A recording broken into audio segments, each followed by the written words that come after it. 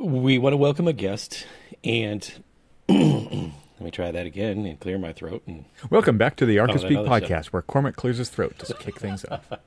there you go. You know what? I'm probably going to keep that in just for the There you go. of Nice. Um, Yeah, there you it's weather's actually changing here because we have weather, unlike the desert of Phoenix. 107 And, uh, degrees today. Oh, Oh, I'm sorry. It was only 70 here. yeah. I Felt Um, like that here too. yeah. Anyway, we have a guest today, Slade Sheaffer from Ayers St. Gross. We wanted to welcome Slade on the show because, as all of our listeners know, we had just started to finish up our summer of travel. And last episode, Evan was talking about his and was talking about mine. And fortuitously, our interwebs, we'll call it, within the office, we share stories and whatnot. And Slade had posted where he was on a, and I'm not going to give any of it away, Slade. You're going to get to do all of the talking for this, but some summer travels of his own. And I thought it was a great time to bring him on so that we could talk a little bit about it, specifically about you know the importance of travel but you know what he was doing when he was traveling as we've talked about in the past about how we enrich our careers enrich our knowledge as architects through travel and so slade first welcome to Archispeak Thank you. Very happy to be here. and now i'm going to throw you right into the fire and have you explain a little bit about your uh, travels how those travels came about who sponsored those travels and go from there Sure. Well, I'll give a little spoiler. So I went to Denmark uh, and the Netherlands with a little stop through Germany. But I had some very specific obje- objectives, and the choice for why I went to those countries was pretty specific. So if I take a step back uh, to grad school, I went to Arizona State for my Master of Architecture. Graduated in 21, so I'm one of the lucky cohort that got to spend about a semester and a half in class and then do the rest virtually. But my final semester there, I opted to do a independent study instead of a traditional studio. And my choice, my sort of pandemic coping mechanism had become cycling. So I've spent a lot of time on my bike uh, in Phoenix, especially. And Phoenix has this really robust network of canals, but we are also very famously a very auto-centric city. It's not Yeah. necessarily the best place for people who want to bike like practically there's a huge cycling community, but those people just go into the wealthy neighborhoods where there's all these hills and not too much traffic. So, in my uh, time cycling during the pandemic, I found these canal networks that really can make really robust uh, pedestrian and cycling sort of pathways. And I'd also discovered that they were very fragmented. So, you'd constantly be hitting uh, major street intersections where you'd have to wait to cross these six lane roads. And in some cases, you might have to cross like one road and immediately cross another road. In other cases, you might have to cross the interstate and like go half a mile south just to get back on that same canal. So my master's project was kind of looking at how you could uh, connect all these pathways and make it a little bit more feasible for people to actually use them for cycling and commuting. So first that was sort of just an infrastructural solution. But my thesis advisor, Phil Horton at the design school, he sort of pushed me to actually pick a few independent sites to start developing real architecture because as, as cool as it would be to develop some sort of modular bridge system, there's sort of architectural limits on that. So I ended up picking this one specific site where a canal crosses sort of two streets within about 50 yards. And I kind of designed this like big bridging amphitheater that also doubled as sort of a observation tower, a bridge over the streets uh, to to make the canal network continuous, big advertisement billboard, which is the only thing that's currently on the site. And it was this really fun project uh, that ultimately was me like trying to combine a bunch of uses into this piece of architecture that functioned not only as as an amphitheater but as like four other things or five other things, and also create a microclimate that that helped the local hot Phoenix weather be a little bit more tolerable in the summer. So anyway, that was sort of my master's project. Had a lot of fun with it. I called it a Phoenician bikearchitecture. of course, finding some words there. So didn't really know what to do with that after grad school. I moved on. I was working at a, a different firm at the time, and then joined uh, Ayers St. Gross in 2022 this last spring, I'd been wanting to do this since grad school. I taught a junior level science studio at the design school at ASU, which was really fun. And of course, uh, learned a lot in that experience on its own. Uh, but our studio's brief was, I think there was like 10 different sections of, of this studio. And we were supposed to have them design libraries, just branch libraries, but also give our own twist to it. So really the first thing that came to my mind was my master's project. And during that project, I had looked at a lot of case studies of these other buildings that combine multiple functions, often bike related. So Bjarke Ingels group did uh, the Shanghai Bike Denmark Pavilion at the Shanghai Expo in 2010 was this sort of morphing shape that you could cycle up and around the outside of it. I had looked at Heatherwick's Vessel in New York, you know, this series of stairways creating this sculptural uh, element. I looked at also Big's Copenhill in uh, Denmark, which we're going to talk a little bit more about, which is a waste energy plant in Copenhagen, which, you know, of course, a very flat city otherwise. And Big came to the city and said, What if we shape this like a big hill and let people ski on it? So it doubles as a hiking slope and a ski slope. Uh, and it's also this waste energy plant that supposedly is only emitting, you know, safe, safe particles. I won't get into the science of that because I don't know supposedly. how that works.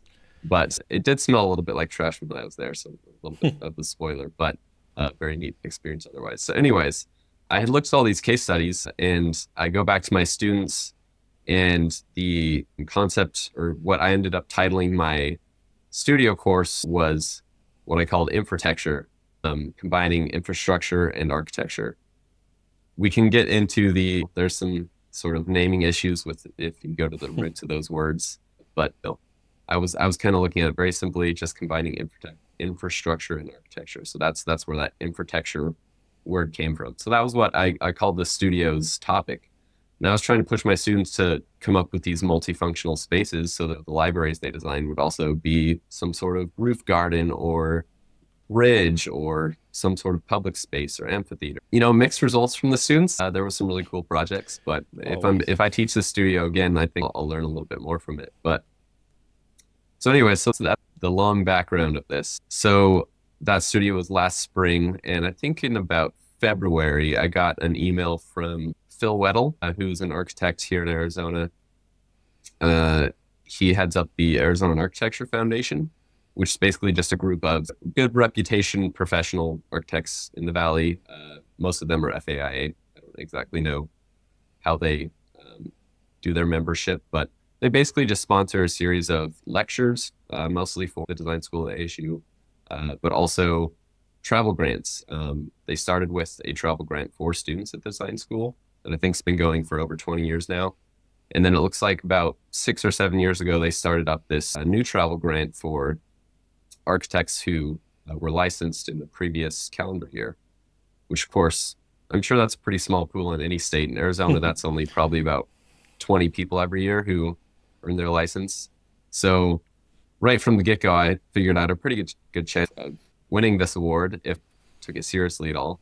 From that 20-ish architects who probably got their licenses the previous year, I'm sure half or less even consider submitting a proposal and maybe right. even less end up submitting one. so anyway, anyways, I, I spent quite a bit of time putting together a proposal.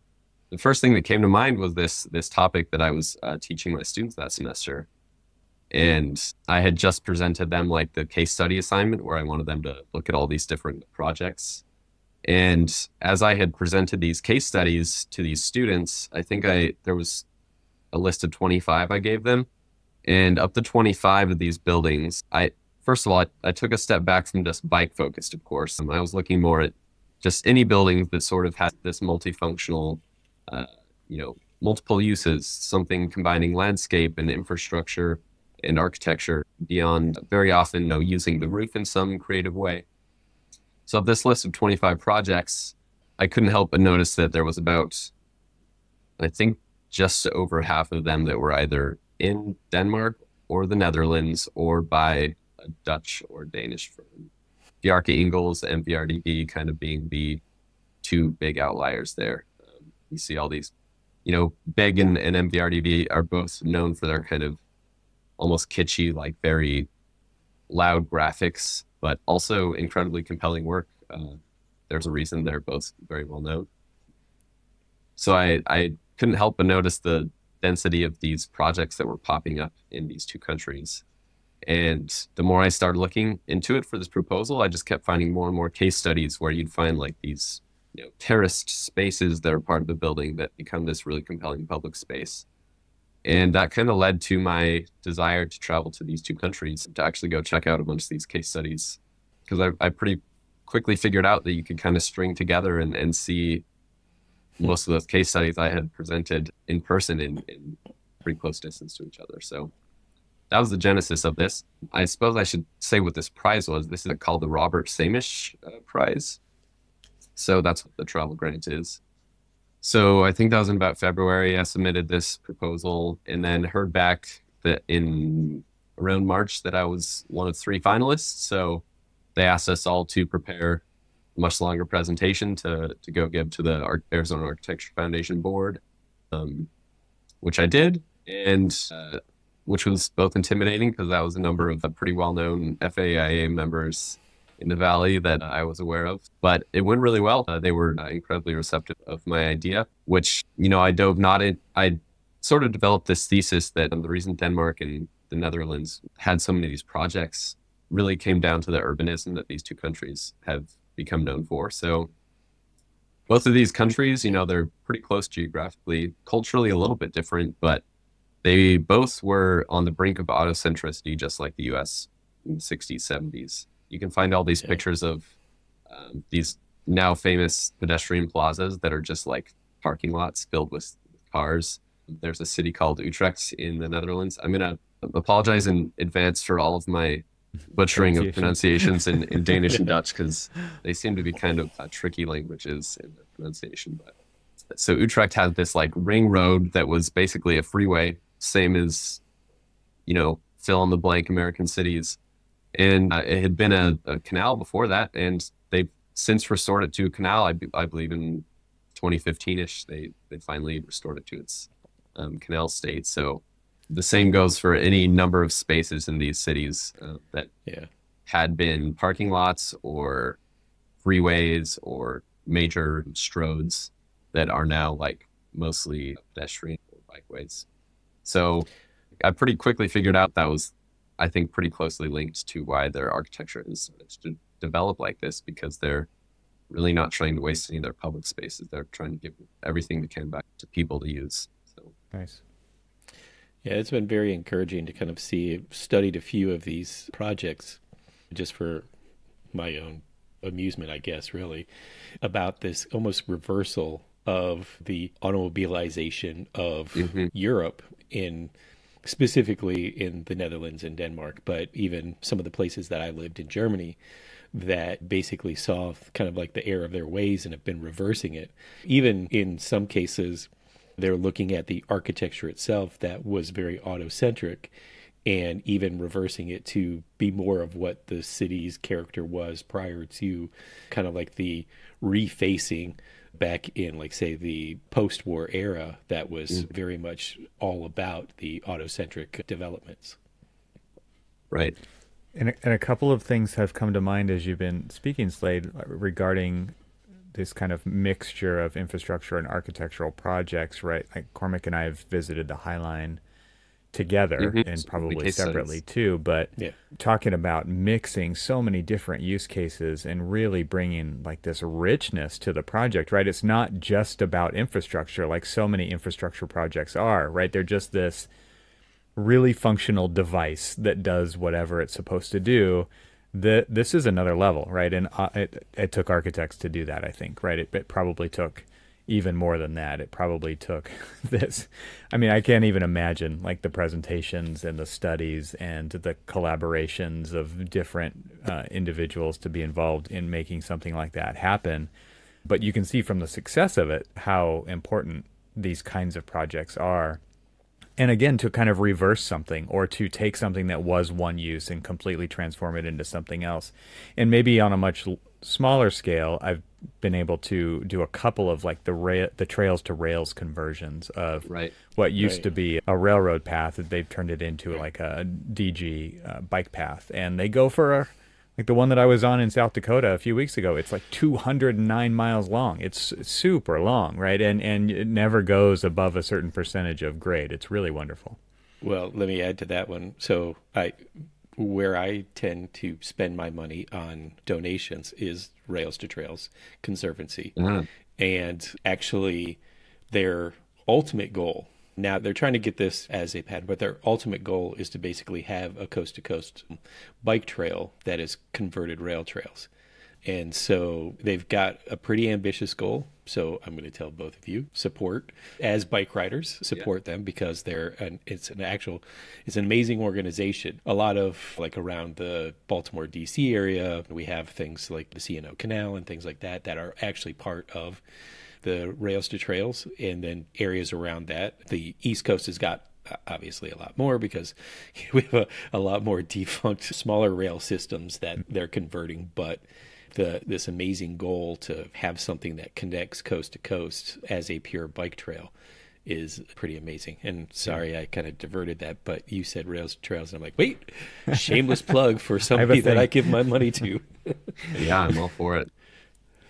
Well, were there any other before you jump into kind of talking about the locations you visited on your trip? Were there any other kind of case studies that you looked at in the U.S.? Because I'm thinking, like, as you're talking about Copenhagen area and Denmark and the Netherlands, I can only imagine there's people in the audience screaming at their speakers, like, "What about this one? What about this one?" And so I brought up a couple. But were there any here in the U.S. that people may be familiar with that you were kind of citing as case studies for these infrastructure architectural projects? Ye- yes, and shockingly, it seemed like, of course, you can find more and more examples of projects that could fit loosely into this typology, and I kind of Mhm. ended up identifying a number of different like subgenres of, of this type of project. But New York, I think it won't surprise you that there there's a lot of good projects popping up there. Heatherwick's Little Park, I believe it's called, with the Yeah. sort of tulip shaped Right. supports. The High Lines is basically the classic example, taking this old, uh, misused piece of infrastructure and turning it into this incredible piece of public landscape architecture, public space. The Vessel as well, which I sort of branded that one in the quote unquote vanity flavor of the infrastructure project, which I visited a couple more of those vanity type projects, which, you know, you can argue about the public value of those ones specifically, but they still create conversations. I, I think they're still interesting. I went to a very similar project of that, which I'll get to, in the forest of Denmark. That was one of my favorite places I've ever visited. It, was- it was mind blowing. So I'm sure the vessel, you know, despite the fact that it's like ticketed and it's not really truly public space, you can argue about the you know, accessibility of it and whatnot. I, I'm sure it's still an incredible place to visit, uh, just sort of based on the pure geometry and sort of novel experience of it. So New York, I think, but that could bring you to another conversation about some level of density required for these projects. Um, I actually was fortunate to talk to uh, an architect at MVRDV and an urbanist at Mecanoo, and both of them kind of provided insight that their designs are all based on, especially in the Netherlands and Denmark's the same, of course. Both those were both Dutch firms that I talked to, but they said they don't have any easy projects anymore or any easy sites because they just- just don't have the space. So I think that kind of perhaps forces them into that mindset of thinking outside of the box. How can they Yeah. turn these things into more than one use? Whereas us Americans might just be stuck in the unfortunate mindset of here's the building and then let's put all the parking in this other space we have. Mm-hmm. Well, we're sort of, I mean, you're very spot on because, I mean, we're sort of stuck in this sprawl mentality. It's like, oh, why reuse that building when we can just go ahead and use this and clear cut this area here and build it? I'm curious, and, and maybe you'll get into this a little bit, but of the examples that you've cited, say, in your U.S. infrastructure, am I using it right? Yes. All right. And what you saw in Europe, I mean, I can only imagine that there was a little bit more willingness to be adventurous with the you know the creations you know the merging of programs versus the, a little bit more conservative attitude that we have in the states where it's okay, this is a power plant, let it be a power plant, and that kind of thing. And I guess it's still kind of part of that sprawl mentality of just let the thing be the thing and don't merge the two. It was the old, and this is way before your time, but there was this whole commercial advertising Reese's peanut butter cups. It's like, don't get your uh, peanut butter in my chocolate, and vice versa. And, and so it was just like, segregate it, keep it separate. And and I see in one of the things that I appreciate about some of the big projects that you probably visited was the willingness to merge and to explore and identify the need for these to be multifunction spaces. Sure. Um, a couple initial comments on that. First of all, these uh, Copenhagen, for example, they are forced to just everything's a bit closer together. They uh, their cities are by nature more mixed use, which we're slowly trying to get back to in the U.S. But on the on the flip side of that, like uh, the Copenhill project that we'll talk about, waste energy plant, it still is very much in this industrial area of Copenhagen that's not necessarily super dense by know, measures of the rest of the city. So it's not like that one was forced to be a ski hill by the, the fact that it's like surrounded by a bunch of other public spaces or anything like that. It's kind of in the middle of nowhere as far as the city goes. Um, I think the other side of that, or, or perhaps what's guiding that, I had a comment from the architect at MVRDV that I spoke to. You know, I kind of asked him like, how do you get the clients to buy in on these wild ideas? And to some degree, he said, well, people don't work with us if they're not willing to right have some radical thoughts. So yeah. that's not kind of the catch twenty two. It's like if you're not big or MVRDV or, or firm like that, how do you get a client to buy in? Now, of course, in those countries, you're starting to get several of these other firms producing similar types of work that are equally as compelling in ways. But I think to some degree, that's kind of just like the cultural momentum building that we right. don't necessarily have here yet. But I'm glad you used the word yet. Well, that's that's part of the trip here. And you know, at Ayers St. Gross, we're mostly in higher ed. Uh, I love campus architecture and campuses because I kind of see them as urbanist havens within our autocentric cities. So if there's any place to sort of experiment with architecture and, and push concepts like this, I think it's probably campuses. So I, I, would love to see us starting to implement this kind of fun idea on the campuses where people do walk and bike to to get around everywhere, you know? And then right. maybe those ideas can slowly start permeating outward from the campuses. Yeah, I think just as a side note, the thing that you're talking about is like it's their brand, right? When you talk about these firms, it's mm-hmm. why people go to them in the first place. Nobody goes to Frank Gehry expecting to get something else, right? Yeah. And that was something that kind of the light bulb went off a long time ago, you know, two decades ago when it was like, how does he get to do projects like this? And it's like, by doing projects like this, right? Like that's the only mm-hmm. you have to show and then people want to come to you for that. You know, total aside, but I think it's the same concept that you're talking about. So, and uh, as as far as getting the momentum started, at least, you know, Big was born out of I believe DRP was worked at OMA before, so mm-hmm. that's sort of another Dutch Danish link. But in in the Netherlands, they, you know, they were starting to build their cities around the car, and then they had these huge protests in the 60s, 70s that were actually really interesting that I hadn't heard about until I, I researched for this. They basically called in a Dutch stop the, the kinder stop the kindermoord, stop murdering the children, and it was because a number of wow. children had been hit by cars and whatnot, and it, it just took this cultural cataclysm for them to like turn their cities back to people and bikes, and then in in Denmark you had Jan Gehl who still does a lot of really awesome work, but mm-hmm. that was sort of their cultural cataclysm. So both of those countries were sort of shocked back into this, and it seems like 20, 30 years down the road, this t- type of architecture started popping up. Mm-hmm. So it seems like to me that was kind of the the evolution, the next evolution of that urbanism that is is maturing for those countries, but is really only just starting for yeah X number of other places. So, do you want to dig in to some of the places that you visited? Sure. Here, I'll share. I will share this screen. This is where it's going to be for the listeners who are listening to the audio version. We're going to share some imagery here so you can check it out on the YouTube version. Yeah. yeah. So I started in Copenhagen. I'll, I'll make the note here. Uh, I actually took my mom with me on this trip, which was uh, really special. She had never been to Europe before. So when I told my parents that I had won this prize, my fiance works in the schools. So I was planning this for late August and or mid August. And so she wasn't going to be able to go because her school year had already started.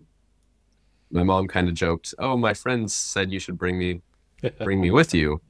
And there was something in her voice. I was like, no, she's joking, but she's also kind of serious. So I went on this aggressive campaign to convince her to come with me.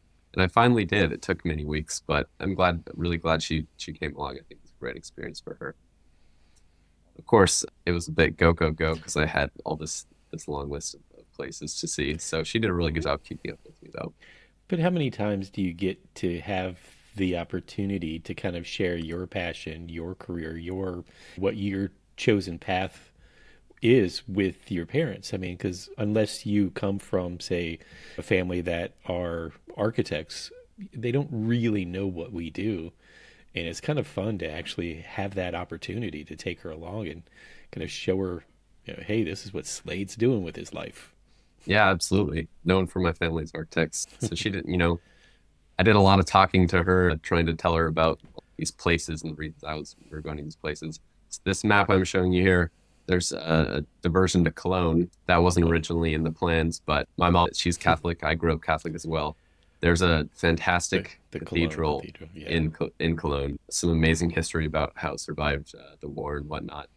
So I made that sidetrack as soon as my mom signed on to the, the trip because a I, I personally also love Gothic cathedrals. That's that's part of how mm. I hmm. became convinced that I wanted to move to architecture. I I'd done a study abroad in college in Paris, Barcelona, and London, and uh, we stopped at like Chartres and uh, Notre Dame, Paris, and these Gothic cathedrals were spaces that just like blew my mind, of course. So I was very happy to make that stop for my mom. That wasn't necessarily in the domain of my studies otherwise, but it was a personal highlight as well. So uh, shall I dive into more of the actual itinerary? So I started in Copenhagen. I think we spent five days there. I actually have, so thing listeners, I'll hold up here. I print out this big itinerary that I made on Google Docs with all my hotel links and, and whatnot, but also the long list of projects uh, that I wanted to visit. So Copenhagen, I'm just going to go ahead and fire off some of these projects, uh, most of which I was able to visit. So Copenhill, which we'll we'll talk about as well. Camp Observation Tower. Mentioned that kind of earlier. That's a tower in the forest. Uh, Karen Blixen's Plaza. That's a project by COBE. That's a, a, university plaza that basically has bike parking underneath these sort of artificial hills. It's it's really compelling in these almost cave spaces. The Danish Maritime Museum, which is also by Big. Unfortunately, I did not get to visit that one. It's a little too far out of the way. The Opera Park by COBE. That's this amazing park built on top of a parking garage, of course. The Mountain by Big is another residential project where every single residence has a terrace. The whole thing is basically sloped like a mountain. One of the my favorite projects was the Eight House by Big, which that one was actually probably one of the ones I was most surprised by. It's basically it's shaped like an eight from above, uh, and it's a series of, of apartment buildings, but there's this public promenade that snakes its way up the entire form and takes you about six stories high just by walking up a 5% slope.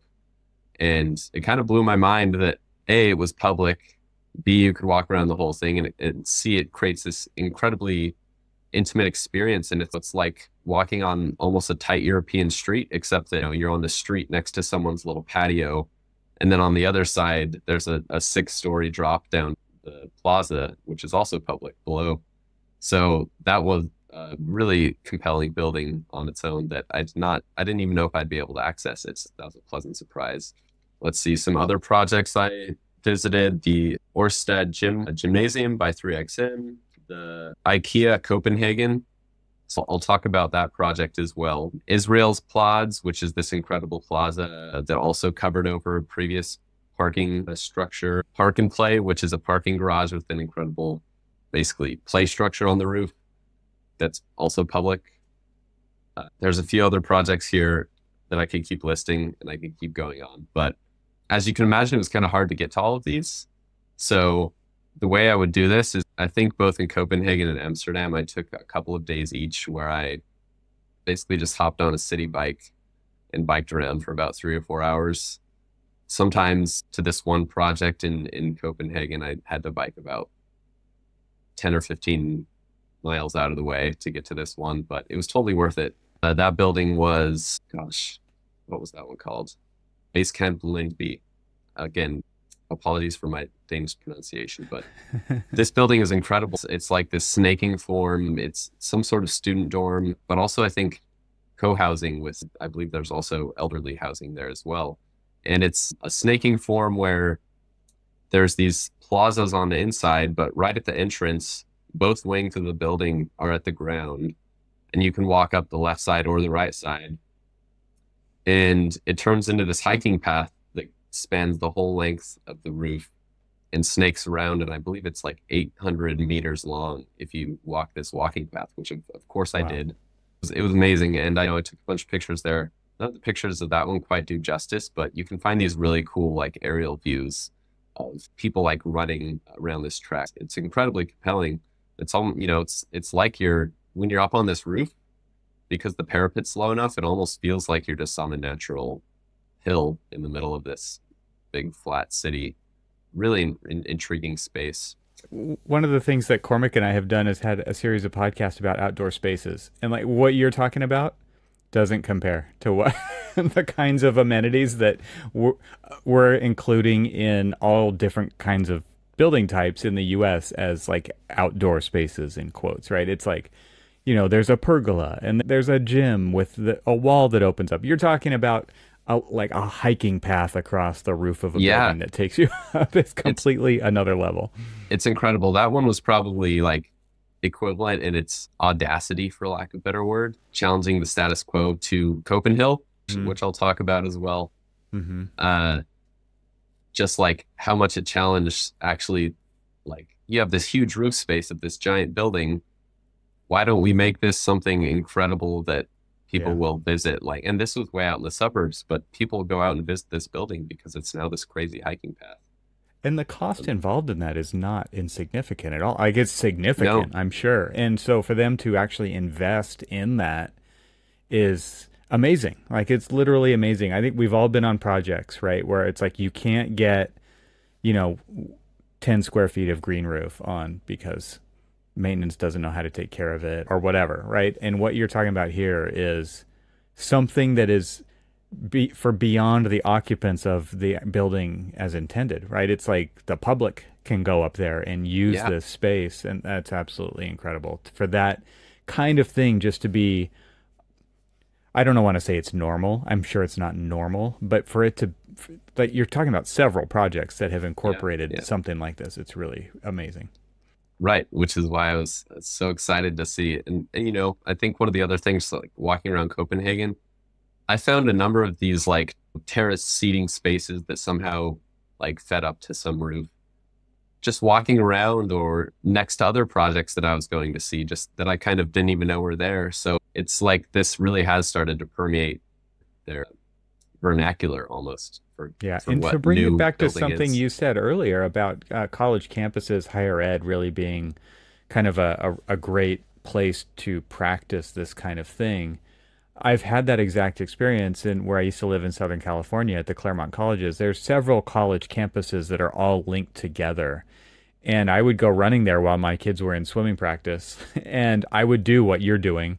I would just go explore and run and it made it the running way more fun because I could get up on top of buildings because they were right. open and I could go up to the roof gardens and through the stairwells and I could do that exploration and to your point like this was a great place in the US to experience things like this in a in a much smaller scale but still not a really small scale like we're talking about square miles of campuses that were linked together with lots of intricate pathways and uh, elevation changes and mm-hmm. architectural changes, uh, tons of uh, landscape variation. And it was really incredible. So these places do exist, like you're talking about uh, here as well, but they're not these show pieces like like what you're talking about here.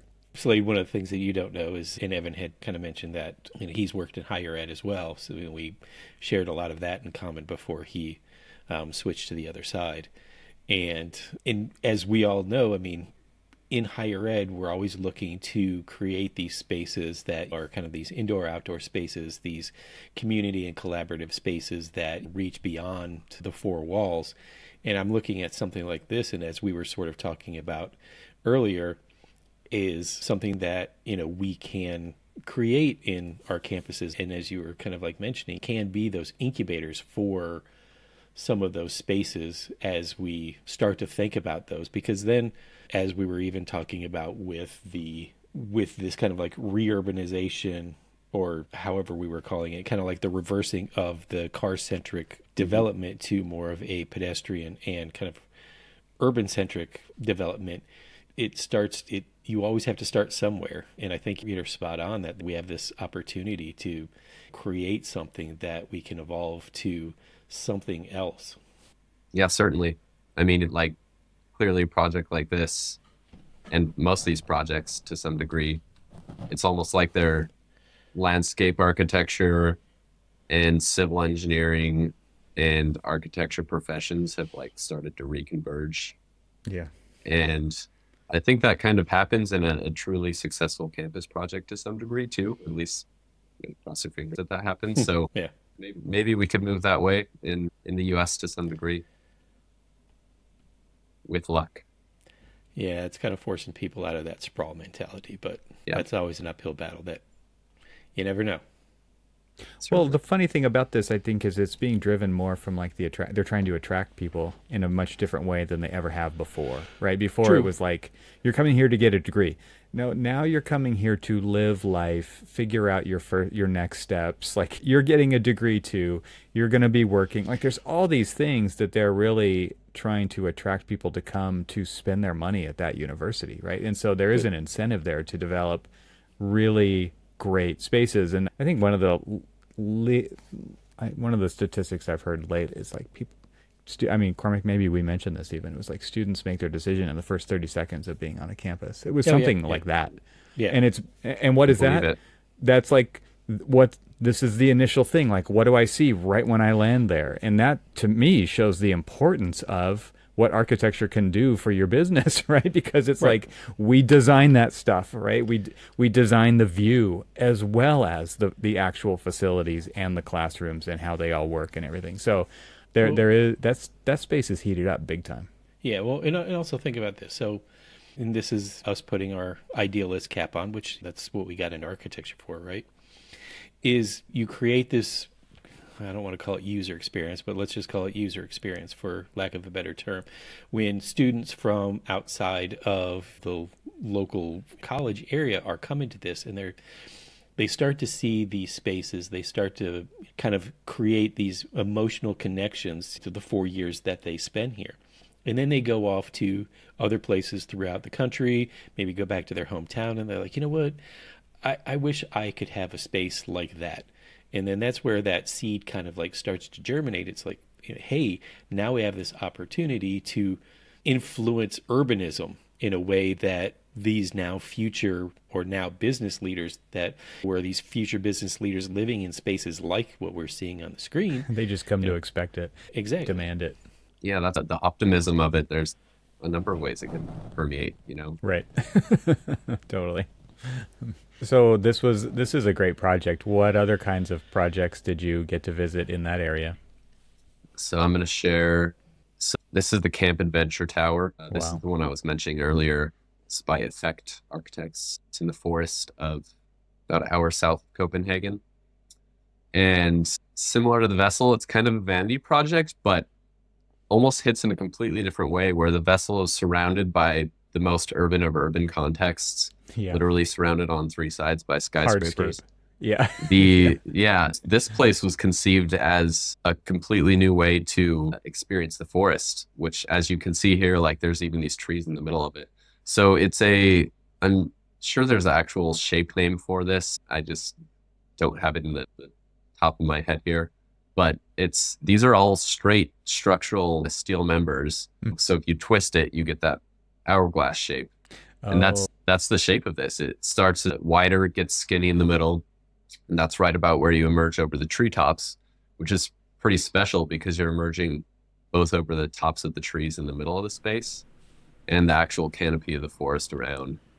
And then suddenly you have this incredible view of the Danish countryside, like miles out in each direction incredible.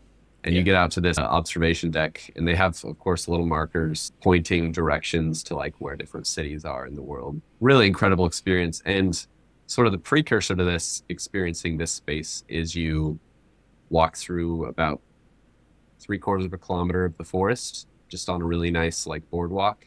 So it's almost like priming you for this experience of then ascending above the treetops. Really an incredible incredible space. So this one is it's fully in that vanity category, but like completely justified in my mind. It's it's a very minimal footprint on the forest below, and it sort of brings people to experience nature in this way that I hadn't ever really before. And I spent a lot of time outside too. So I mean, uh, do you consider projects like the the Space Needle in Seattle or the Eiffel Tower as vanity projects? I mean, I mean, yes and Yeah. no, right? But those, it's like it gives people this incredible experience through the built environment, right? And that to me is a worthwhile pursuit. I mean, it's not very often that these happen, but man, like I like I, th- there is that kind of category. I know what you're talking about. I mean, especially uh, we, we hear that a lot with the vessel, right? Because of um, various activities that have happened there, and, and really unfortunate activities that have happened there.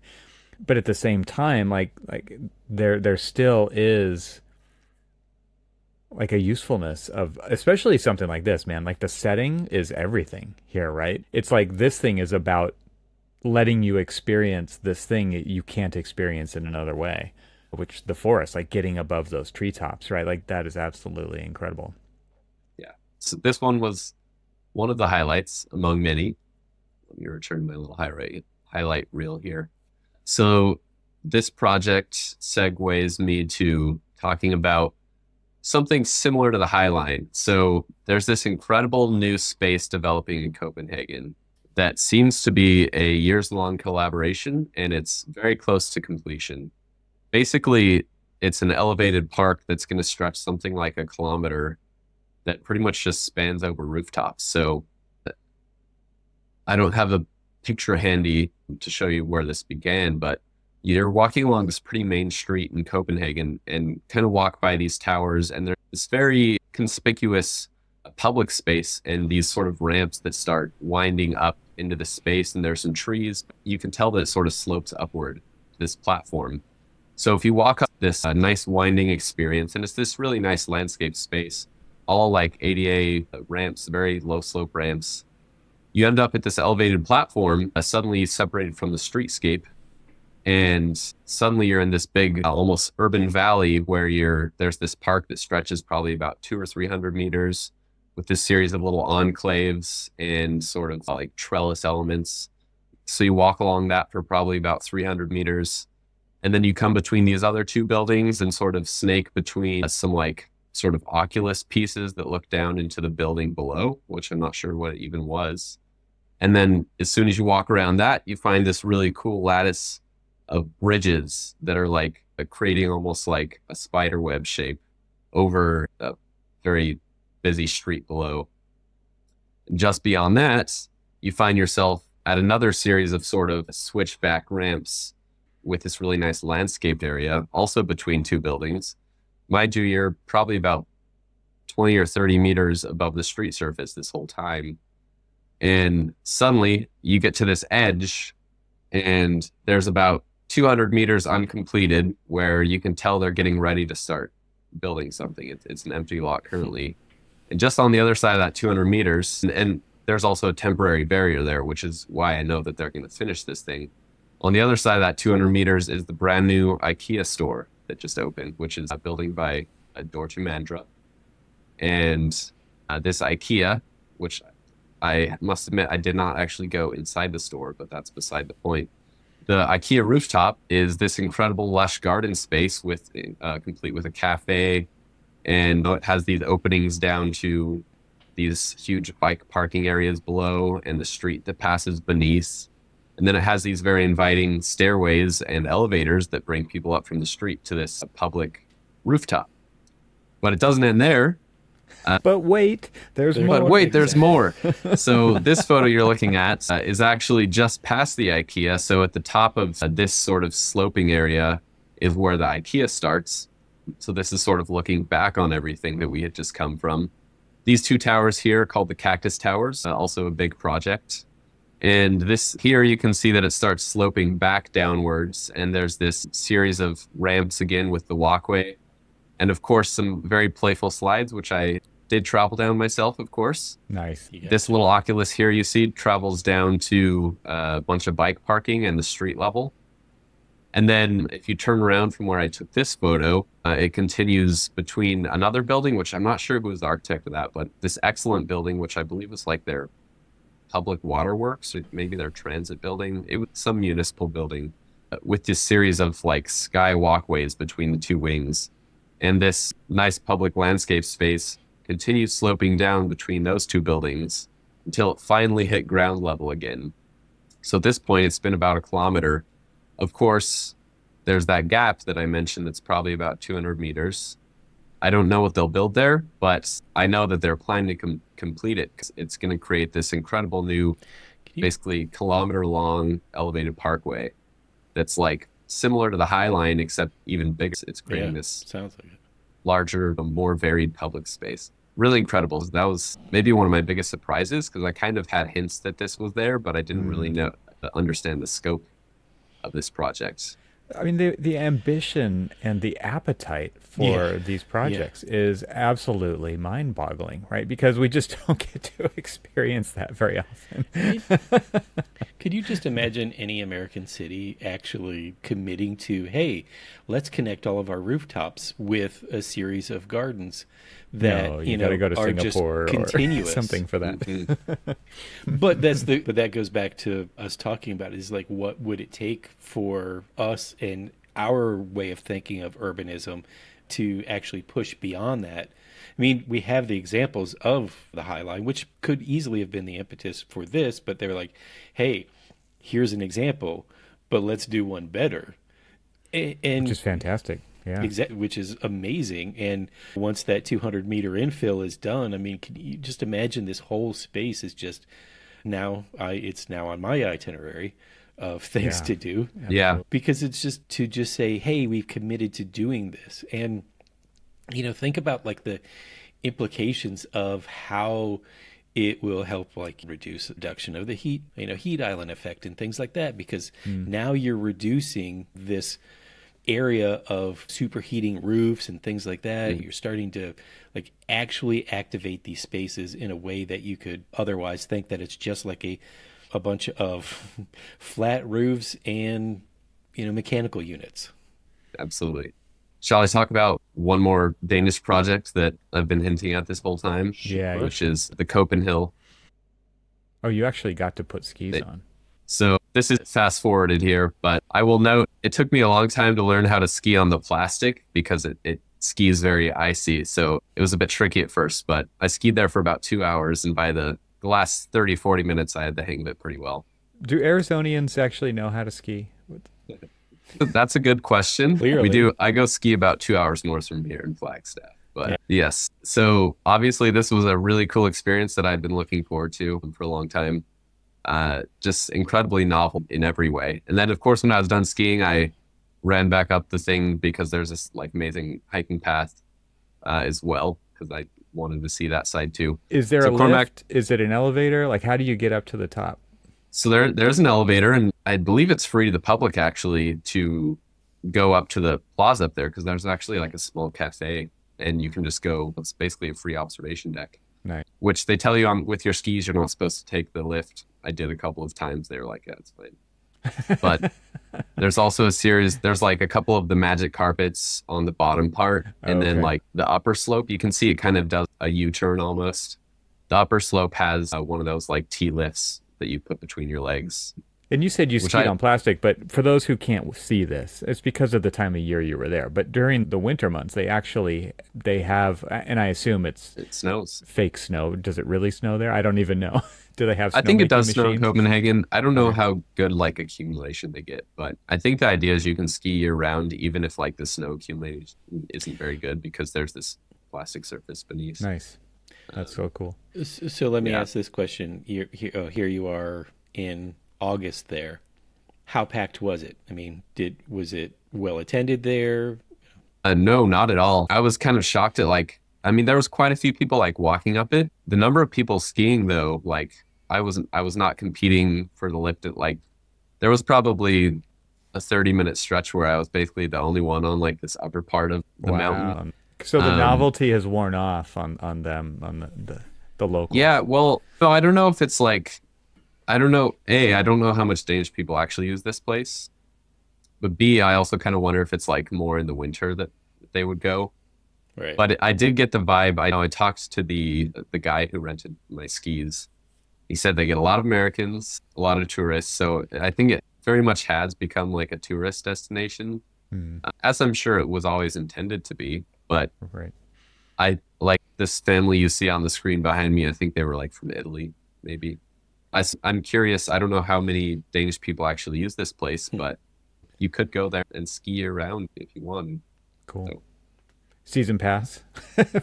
I'm, su- I'm sure they do. Yeah, I think you know it was pretty cheap. I think it was, well, I think it was like 50 bucks for a couple of hours uh, if I did the, the conversion for Danish Mhm. kroners. But for what you get, I thought it was absolutely worth it for the experience. Because I actually bought this Insta 360 camera Yeah, so I can do these 360 shots how I made this video as well.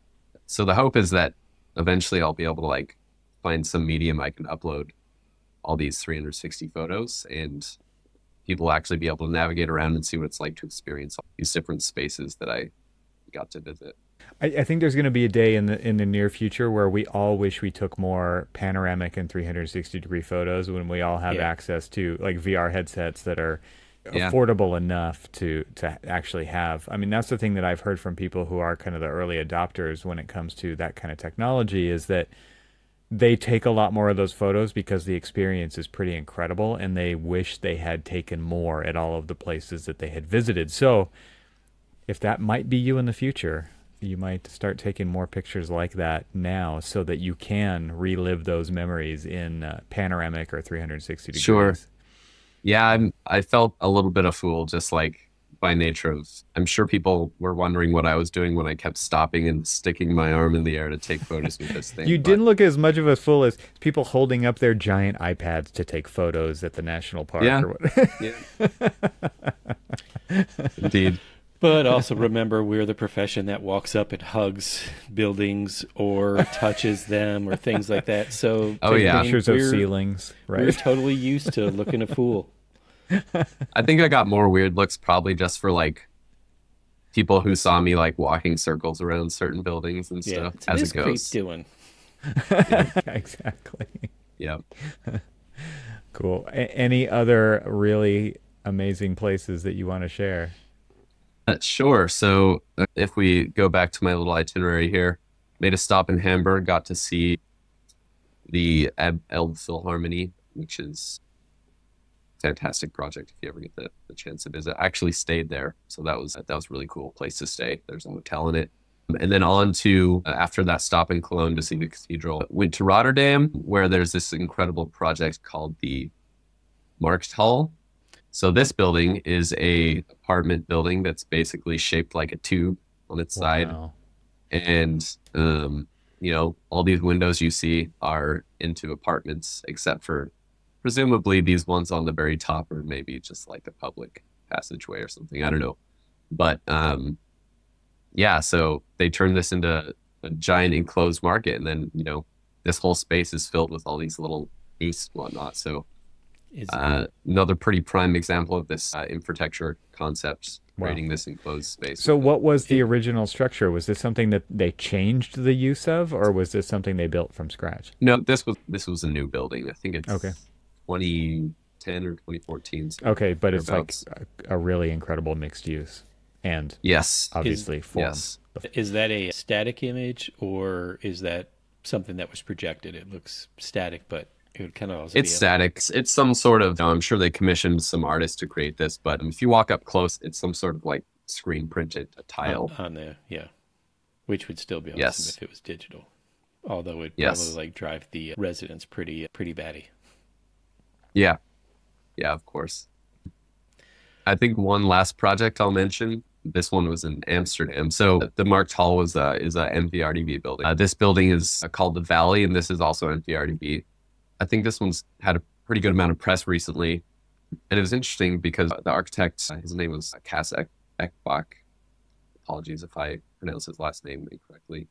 He, I was put in touch with him actually by uh, Claudio Vekstein, who is the uh, head of the architecture program at ASU, who happens to uh, spend his summers in Rotterdam. So uh, I met him for a coffee in Rotterdam, and he walked me over to MVRDV's office to uh, chat with Cass, which was really an awesome connection. So I'm very thankful that he made that connection. But so he was telling me about he uh, he was one of the ones involved in in this Valley project, and as you can see from this photo, there's these really incredible, almost natural feeling canyon spaces. So at this point, I'm standing about for the for the listeners here, we're looking at like these these tower aspects, but it, it has this very uh, faceted canyon feel. Basically, the the whole purpose of this building was to create a, a pseudo natural space uh, in Amsterdam. But I'm standing about five stories high where I took this photo, and you kind of snake up these series of stairways, and this actual reflecting pool that you see in the photo is the ceiling of the lobby below, which is pretty Mhm. neat. When you're down Mm. in the lobby, you can Mm. look through the water to the towers above.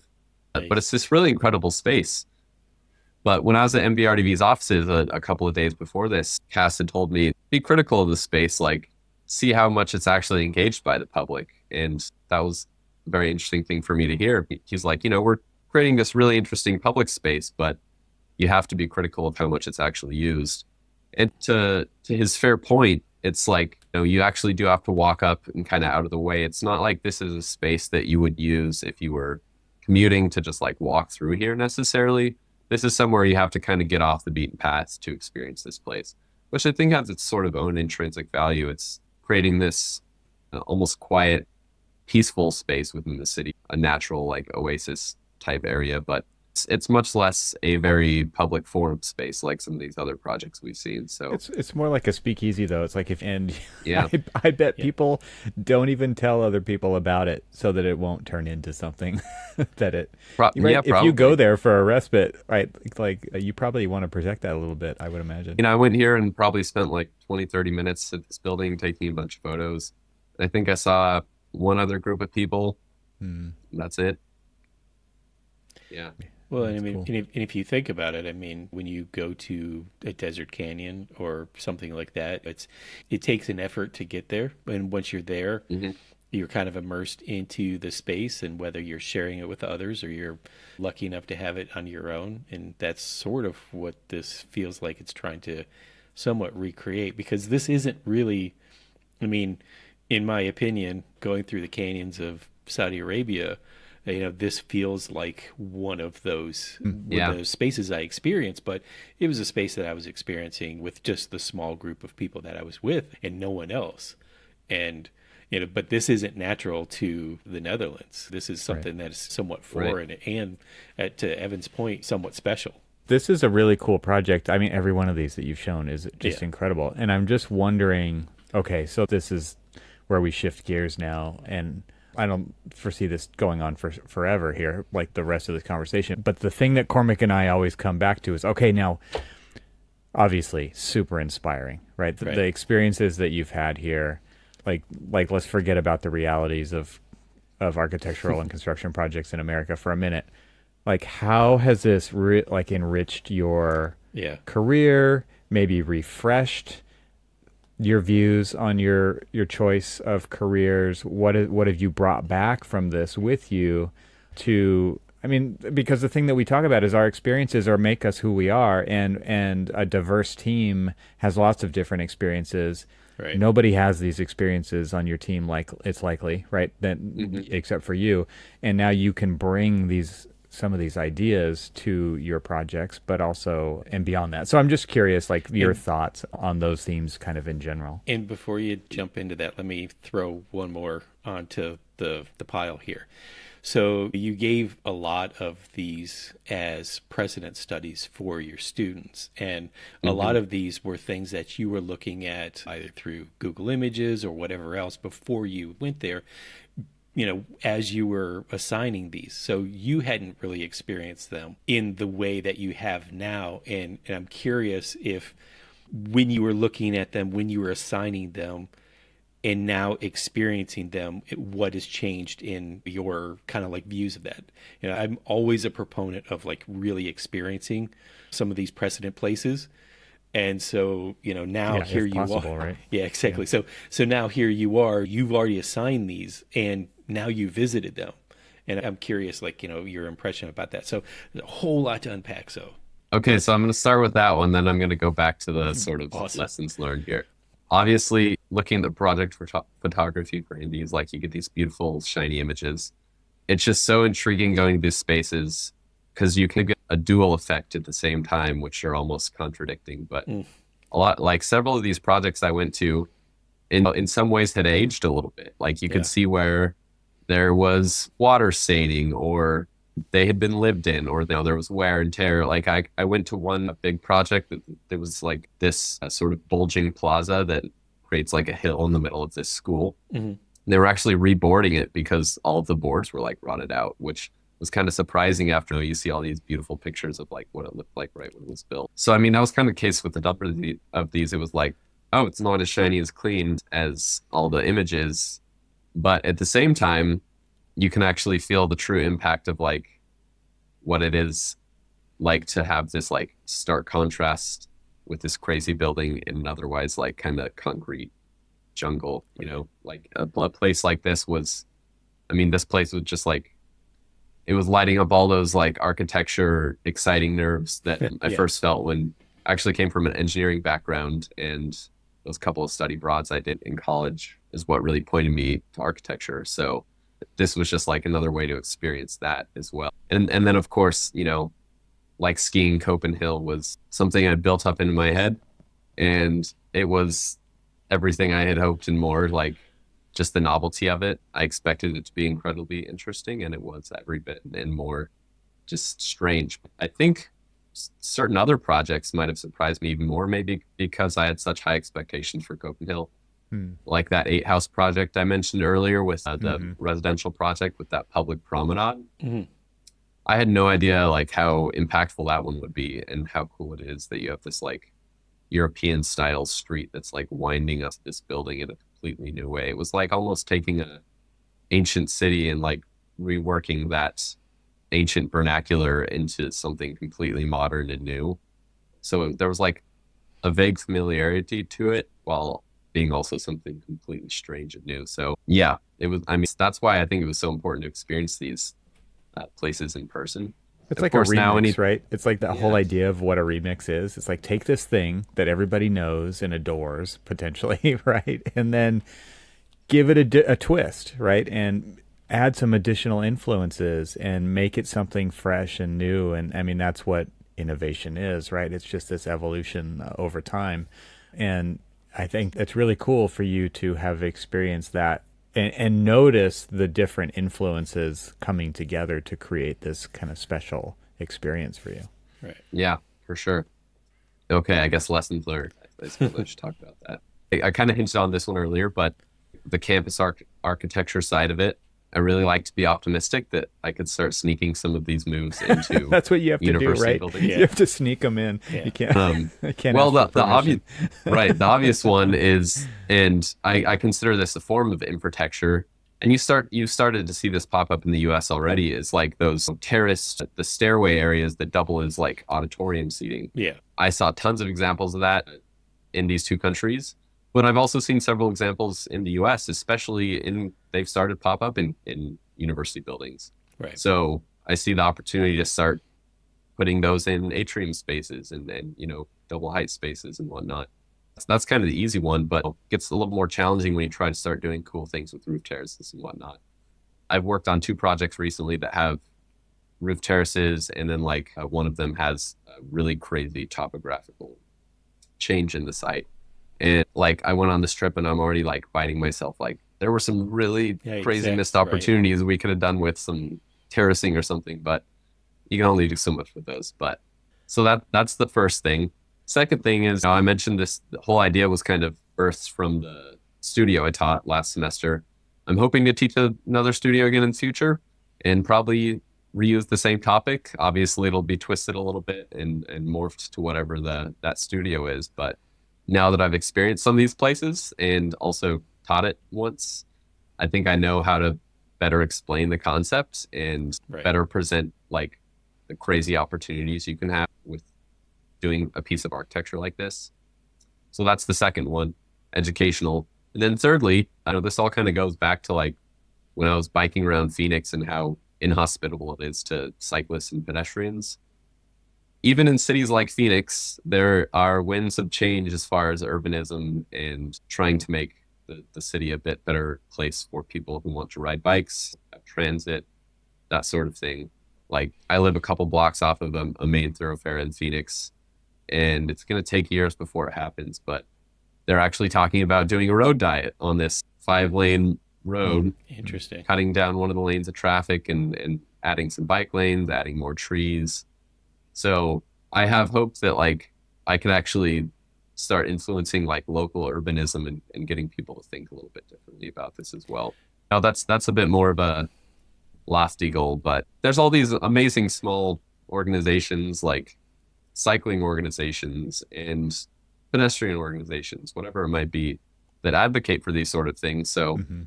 this is sort of just uh, lighting a little fire underneath me to actually get a little bit more involved So- with those. But but think about this. This is you know not only because of your education, your experience in teaching, your experience in practice, but it's also goes back to this whole point of the value of travel as an architect and being mm-hmm. able to see how other cities, cultures, architects approach these different projects with problem solving in a completely creative way that you come back and now you're excited to try to maybe implement it and sneak a little bit here, a little bit there, and then start to get it to a point where it's like it starts to feel like, oh yeah, okay, this is a language that we want to con- continue to pursue and develop and, and things like that.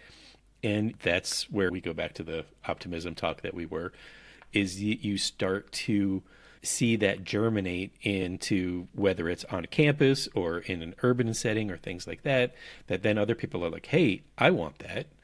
I mean, Right. honestly, the the kind of like elevated park that you were showing us, we saw that we can easily, and they would probably admit that if some of those seeds go back to, say, the High Line or other spaces like that. But looking at it as an opportunity, it's like, okay, how do we do it bigger? How do we do it better? How do we like create these amazing impacts? And that's that's kind of the whole point of why we travel, especially in like my my summer travels took me to a couple of different campuses throughout the northeast took me into canada and nova scotia i was one of our colleagues angelo he and i got together and we toured around the midwest and we visited some campuses we visited some some amazing architecture and things like that. But these are all things that as we talk about on both our firm and in just the architecture community in general are these exciting ideas of how you implement your ideas, how you implement them through execution, how you were talking about the the areas that you went to with with BIG where some of the boards and things like that were starting to fall apart. And and sometimes it's a little odd to say oh i'm really excited to see this and then you go there and it's not exactly what you were expecting. And and that happens too but then you're like okay well what could we do a little bit differently or what could we do better or whatever else? But where i'm going with that is it's just like the value that you know and this is as i said something that evan and i have been talking about over the 12 years that we've been doing this and sharing our travel stories because it's always kind of exciting to see how that informs what we do. I agree. Our profession is about the experience of spaces as much as as much as we uh, put things on paper or screens. It's all about the experience. Absolutely. Awesome. Thanks so much for sharing all that. And it's great to hear that things like this are out there. I mean, I yeah. was also, you know, the recipient of a, of a couple of projects like this to go to experience stuff like this, and it was a really big deal. I mean, not everybody can afford to do this, so to hear right. that there are kind of these travel fellowships that allow you to kind of dream big and put out kind of a moonshot idea that is ultimately super impactful. I mean, this is going to this is going to influence the rest of your career. This is not yeah. the kind of thing yeah. that you're just going to forget about and move on, right? And then it wasn't a vacation. Cormac and I have talked about this too. Like this was a trip. You had an itinerary. You were on the bike. You were getting out to see these places and experience them and spend time in them, and that takes a lot of effort. And to bring it back and be able to even present that to us and our audience, I think is a huge win. And thank you so much for taking the time to do that and being open to doing it. Yeah. Yeah, of course. Very happy to share. I'll have to. One of the requisites of the award too is I'll have to eventually make a lecture for the design school at ASU, which I look forward Excellent. to. I hope to compile it in a much more organized uh, way where I can cover a lot more content as well. But you got a pretty good splash of what I got to experience. Nice. Today, so. Nice. Well, you know, again, as Evan said, we appreciate you coming on and sharing the story. So thank you very much. And uh, look forward to actually meeting one of my colleagues in person someday. Um, yes. But again, thank you very much. And and Slade said that he would share the the Google Doc with links to these projects. I I, I think it would be hard for us to kind of put together what we saw today. Yeah. But absolutely. then we can include that in the show notes so people can click through and, and kind of check these out as well because uh, they're worth taking a look at. So, all right, man. Yeah. Thanks. Thanks so much for having me on. Absolutely.